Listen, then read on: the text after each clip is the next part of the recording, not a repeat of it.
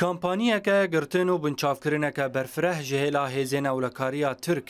derheqê endam û perlemanterên HDP'ê de ji danê vê sibehê de li hin bajar û bajarokên Bakurê Kurdistanê û Tirkiyê dest pê kiriye, di heman dema ku tevgera Teyrên Azadiya Kurdistanê tak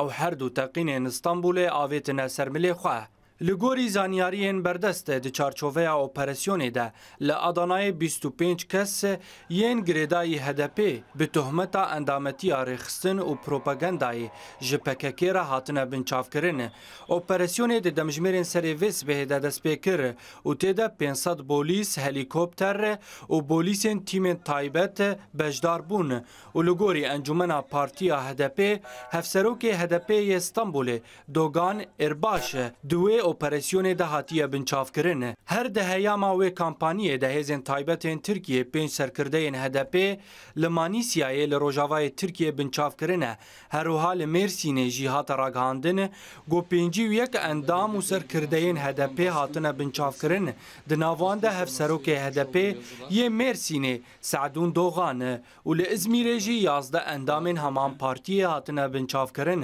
û li gorî agahiyên pêşî ta niha bêhtirî du sed kesî bi tawanên têkilî û endametiya rêxistinên teror rastî girtin û binçavkirinê hatine, bêhtir a wan ji HDP'ê ne. Li hêleke din û li gorî malpera El Cezîrê Turk,